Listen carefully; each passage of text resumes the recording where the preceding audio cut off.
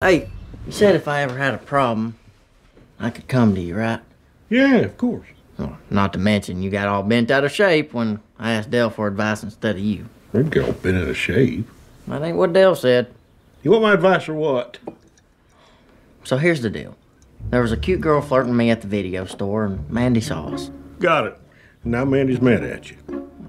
Actually, I'm kind of mad at her. Why?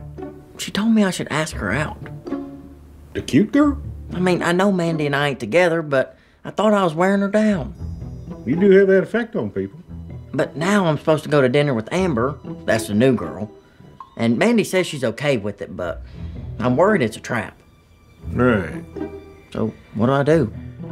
Well, All right, well, let's break it down. If you don't go on the date, Mandy might be upset with you. Right.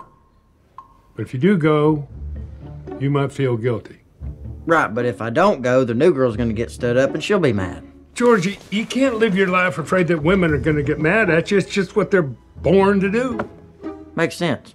I'm not a woman. I'm mad at you right now.